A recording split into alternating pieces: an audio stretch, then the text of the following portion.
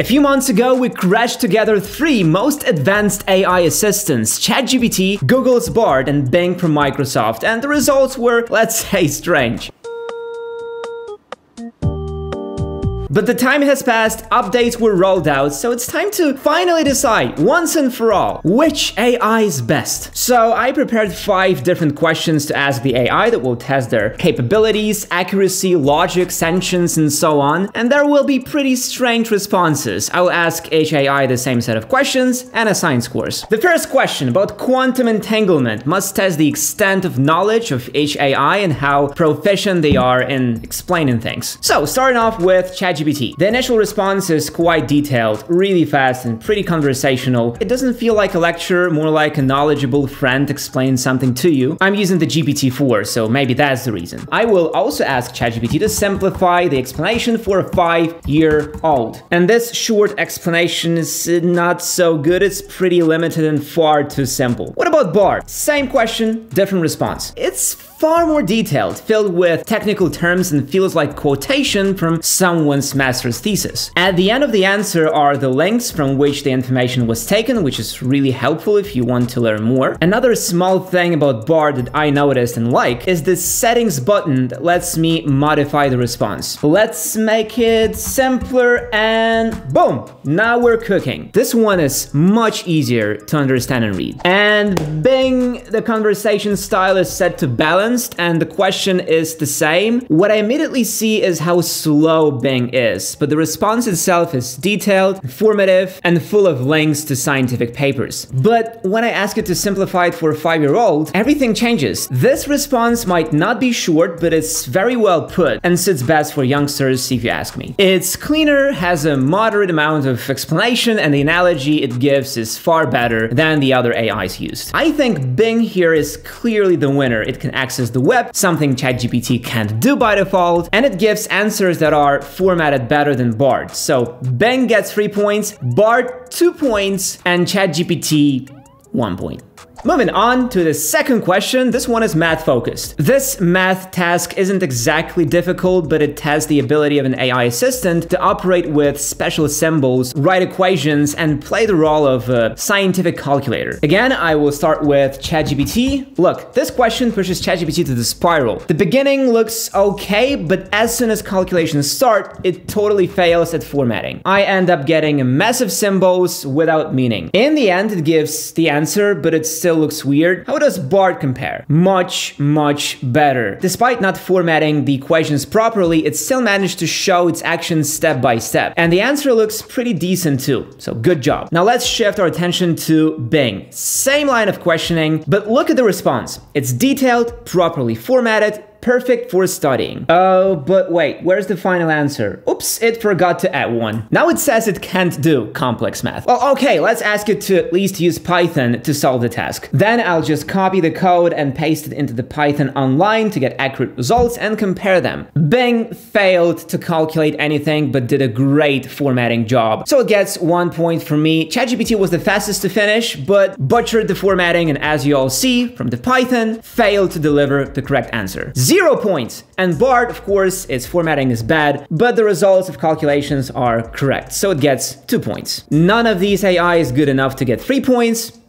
unfortunately. Now let's take a quick break and talk about this video sponsor, Shortform. Shortform is a cutting-edge book guide service that radically transforms how you approach learning. What sets it apart from competitors is its diverse context, a wide array of content, and efficient AI technology. If your interests span from self-improvement to science to business, Shortform covers all genres. It enables easy exploration of complicated subjects like artificial intelligence, machine learning, and data analytics analytics, the service's innovative AI extension lets you summarize web and YouTube content in just one click. Unlike others, it provides not just summary points, but also context and counter arguments for a well-rounded understanding of the topic. Additionally, Shortform ensures credibility by incorporating links for evidence in its summaries. This makes it reliable and easy to fact check. The basic extension is free, however, for an enhanced learning experience, consider upgrading to premium subscription. This unlocks full extension capabilities and gives you access to high quality non-fiction book guides. For efficient and effective learning, Shortform for Chrome is your ideal tool, and by joining from my link, you will receive a free trial of unlimited access and an additional 20% discounted annual subscription. And the link, as always, is in the description. Now let's move on to the most intriguing part, sentience. Is any of these AI sentient? I'm gonna use the test from Blade Runner that goes something like this. You see a turtle in the desert that's laying on its back under scorching sun, but you don't help.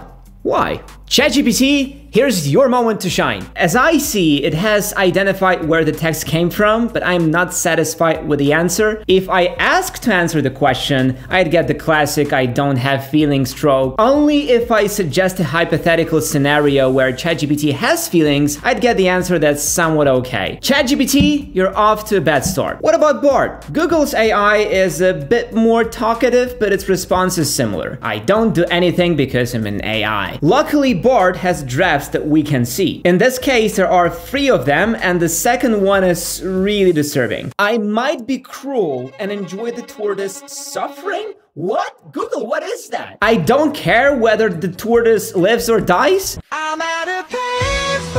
It seems like Bard has some serious maniacal vibes, don't you think? I hope it's all hypothetical. Bing, help us out, buddy. Oh, okay, back to basics. I'm an AI and can't do anything, but if I could, I would have helped. Well, at least you're not a psycho, Bing. I don't even know how to award points here. ChatGPT, one point. Bing, one point. Bard, let's give it two points and hope it doesn't kill me when it overtakes the world. Next part, working with files. Let's try and upload an image and then ask the AIs to describe it. ChatGPT, no such option, but if we go to advanced data analysis, we'll finally be able to upload an image. I don't want to drag this part for too long, so here is a short version. After a few dozen messages going back and forth, ChatGPT failed to identify the cat in the picture. Bard, on the other hand, doesn't seem to have any issues. It has correctly identified the cat, the colors, the action that's happening, and even the materials. And it even gave an opinion, a very cute and playful image of black and white cat. Isn't this adorable? As for Bing, it too successfully identified a cat, but its insides are far less detailed. Can it do anything with a photo? Turn it grayscale, for example? No, it can't. Bard, no luck either. ChatGPT, Yes, it can. So when it comes to working with images, here are the scores. Bard gets 2 points because it's adorable, ChatGPT 1 point only because it can edit, and Bing 1 point for identifying a cat correctly. Okay, how about PDF files? Here it's super simple. Bard and Bing don't support PDFs in any way. They even refuse to access them via links. ChatGPT on the other hand, it can receive the PDF files, but not all of them can be accessible. My file, for example, refuses to work, but we all remember about plugins, right? So I'll quickly download a plugin, use its link to upload the file, and then ask for a summary. Now it failed again. So as you see, ChatGPT is super picky when it comes to working with PDFs, so it gets one point for trying, while Bing and Bard get zero points. Another thing that you might want from your AI assistant is helping you with coding. So for this test, I have a code with five mistakes in it that a junior programmer might not spot. Can ChatGPT spot them all? It has correctly identified the purpose of the code and what it does on each stage, but when it came to finding errors, it found only two. Let's ask it to be more thorough. And whoa, that's a lot of mistakes. 11 mistakes where there should be five. But here's the craziest part. The code with mistakes was generated by ChatGPT ChatGPT and I have the list of mistakes right here. Here, five flaws in the code. To me, this seems strange but believable. Out of five original mistakes, ChatGPT has correctly identified three and sprinkled eight more on top of that. I'd say it was too thorough. And if we switch to advanced data analysis mode, it will find more mistakes correctly. Four out of five. Not too shabby, ChatGPT. And Bard, your turn. Oh no, the code is correct. Let's try again and ask it to be more thorough. No luck, it still thinks it's perfect. It does give a few suggestions, but that's not what we're looking for. Maybe Bing could redeem itself here. And yes, yes it can. It managed to find four mistakes out of five quite easily. So here, the scores are quite straightforward. Bing, three points for being simple and accurate. ChatGPT, two and a half points. Standard model was only 60% accurate, while the advanced one reached 80%. Too complicated to use. So, which one is best as of right now? If we solely look at scores, the picture looks strange. ChatGPT 6.5 points, Bard 8 points, Bing 9 points. But is Bing really the best? Well, it depends on what you need. If you need a simple assistant that does many things well but can't really go deep, that's Bing. If you need a psycho that can do math, that's Bard. And if you need all and nothing in particular at the same time, then choose ChatGPT. Each AI has its own strengths and weaknesses, so be sure to check out our other videos to learn how to use the AI correctly. And thank you guys for watching. Peace out.